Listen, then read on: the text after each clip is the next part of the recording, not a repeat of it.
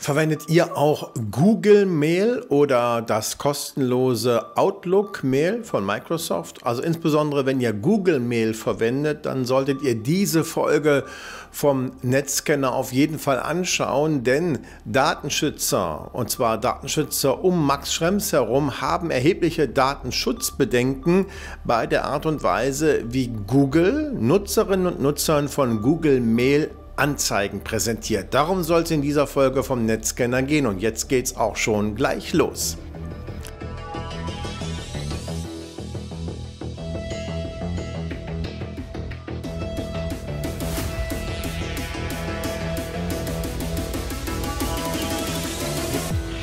Herzlich willkommen bei einer neuen Folge vom Netzscanner. Schön, dass ihr da seid. Da freue ich mich wirklich riesig. Heute geht es um Google Mail. Wenn ihr also Google Mail verwendet, seid ihr hier goldrichtig. Genauso auch wenn ihr die kostenlose Version von Outlook Mail verwendet von Microsoft, dann seid ihr hier auch richtig. Und generell schaut euch das Video sowieso an. Es kann generell natürlich für euch sehr interessant und nützlich sein.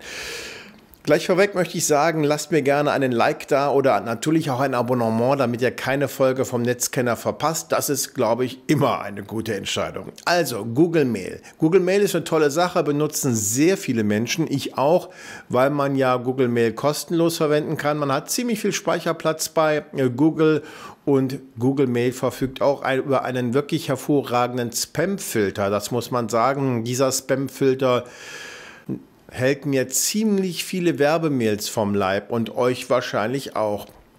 Aber es gibt Werbung, klar. Und zwar muss ja auch Google irgendwie seinen kostenlos zur Verfügung gestellten Dienst finanzieren. Aber hier gibt es möglicherweise ein Problem.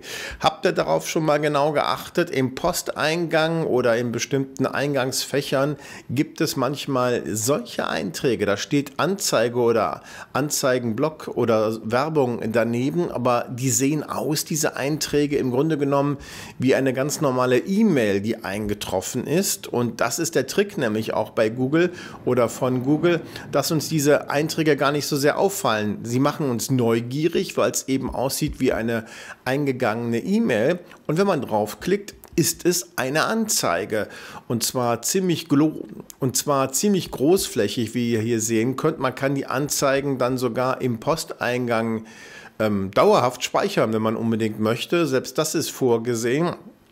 Aber das Problem ist, dass es halt nur diese kleine Kennzeichnung gibt, Werbung, Anzeige und mehr nicht. Und im Eifer des Gefechtes sieht man das natürlich gar nicht und hält das für eine reguläre Mail, die reingegangen ist oder reingekommen ist. Aber es ist eben Werbung. Der Datenschützer Max Schrems hat einen Verein in Österreich, in Wien, um genau zu sein. Und dieser Verein nennt sich Neub. Neub äh, kümmert sich immer wieder um Datenschutzverstöße und jetzt hier auch um diese Sache. Neub argumentiert, dass die Zustimmung fehlt, um solche Werbemails zu präsentieren. Und zwar eine Zustimmung nach Artikel 13 der EU-Privacy-Verordnung ist ja so, wenn ihr Werbemails bekommt, solange ihr zugestimmt habt, dass diese Mails kommen, zum Beispiel weil ein Newsletter verschickt wird oder sowas, dann ist das in Ordnung. Aber es ist nicht erlaubt, euch mit Werbemails zu traktieren, wenn es keine Geschäftsbeziehungen gibt und erst recht nicht, wenn ihr nicht zugestimmt habt, dass solche Mails an euch geschickt werden. Und jetzt wird es knifflig, denn äh, die Werbung, die ihr seht bei Google Mail, die sieht ja aus, als wäre sie eine E-Mail. Streng genommen ist sie aber gar keine E-Mail. Also das ist schon mal eine gewisse, will man sagen, Täuschung oder zumindest Irritation.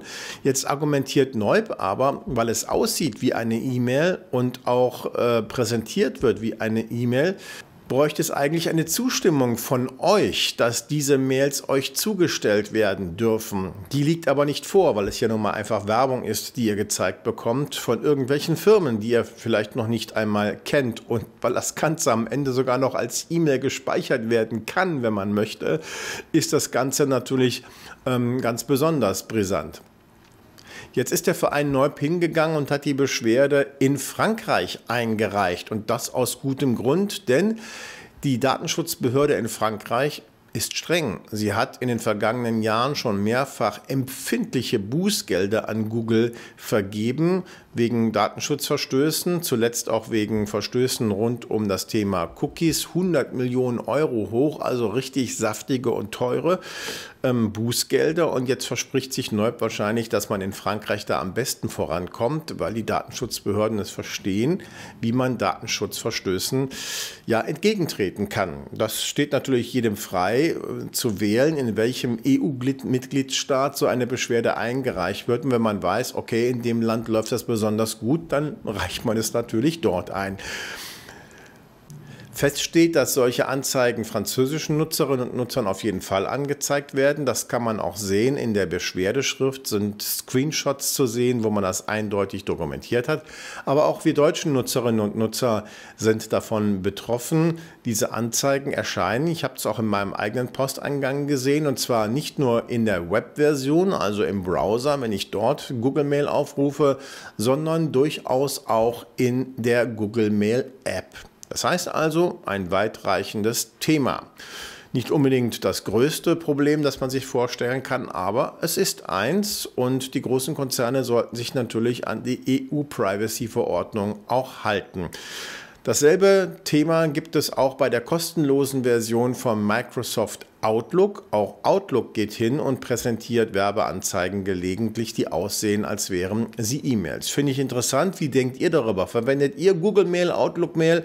Ist euch das auch schon mal aufgefallen, dass Werbeanzeigen kommen, die getarnt sind als eingegangene E-Mails oder nicht? Ist euch das egal? Kommentiert das gerne. Das würde mich interessieren, wie eure Meinung dazu ist. Das war's für diese Ausgabe. Ich sage wie immer, bleibt bitte neugierig und bis demnächst. Thank you.